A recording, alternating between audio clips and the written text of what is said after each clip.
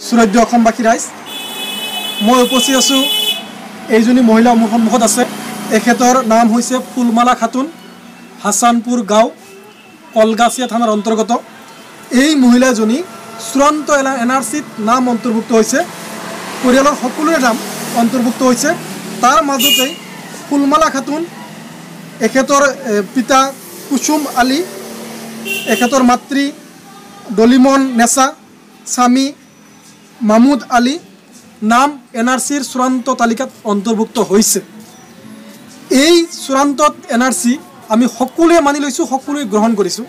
অসমৰ দীৰ্ঘদিনীয়া বিদেশী সমস্যাৰ এটা স্থায়ী সমাধান শান্তিপূৰ্ণ সমাধান স্থায়ী সমাধানৰ স্বাৰ্থত সকলোৱে এন আৰ চিৰ কাৰ্যসূচী অংগ অন্তৰ্ভুক্ত অন- অংশগ্ৰহণ কৰিছে। তাৰ মাজেৰে চূড়া চূড়ান্ত এন আৰ চিত নাম অন্তৰ্ভুক্ত হৈছে দীৰ্ঘ পৰীক্ষা নিৰীক্ষাৰ অন্ত।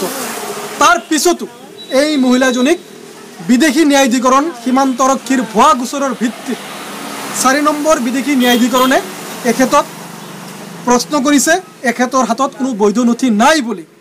আৰু বিদেশী ন্যায়াধিকৰণত এখেতক মাতিছে এতিয়া পুনৰ এন আৰ চিৰ প্ৰক্ৰিয়াৰ মাজেৰে যিটো বিদেশী সমস্যাৰ এটা সমাধান হৈছিল নিজৰ নাগৰিকত্বৰ চূড়ান্ত তালিকাত অন্তৰ্ভুক্ত হোৱাৰ পিছতো এখেতক পুনৰ প্ৰশ্ন কৰা হৈছে আপুনি বিদেশী আপোনাৰ হাতত বৈধ নথি নাই।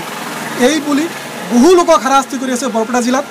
আৰু এই হাৰাশাস্তি কৰাৰ তালিকাত বিশেষকৈ বহু- লোক যিসকল এন আৰ চিৰ নাম অন্তৰ্ভুক্ত হৈছে সেইসকলৰ নামতো এই ধৰণৰ অভিযোগ উত্থাপন কৰা হৈছে।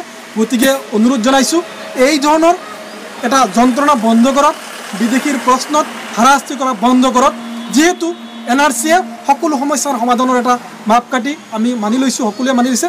গতিকে সেই সমস্যাৰ সমাধান হোৱাৰ পিছতো পুনৰ এজন মহিলাক জাননী জাৰি কৰি এটা আতংকৰ সৃষ্টি কৰিছে বিদেশী ন্যায়াধিকৰণে। তাৰ লগতে সীমান্ত আৰক্ষীৰ ভুৱা গোচৰ। এখেতৰ গোচৰ পঞ্জীয়ন হৈছিল এখেতৰ গোচৰ পঞ্জীয়ন হৈছিল আজিৰ পৰা প্ৰায় দুহ- ন- দুহ- ঊনৈছশ আঠানব্বৈ চনত এখেতৰ নামত এটা গোচৰ পঞ্জীয়ন হৈছিল। সেই গোচৰৰ ভিত্তিত এখেতক বিদেশী ন্যায়াধিকৰণত মাতিছে। গতিকে আঠানব্বৈ চনৰ গোচৰত ভুৱা গোচৰত এইসকলক শাস্তি দিব। গতিকে এইটো বন্ধ কৰক। তাৰ বাবে সকলোকে আহ্বান জনাইছোঁ। ধন্যবাদ।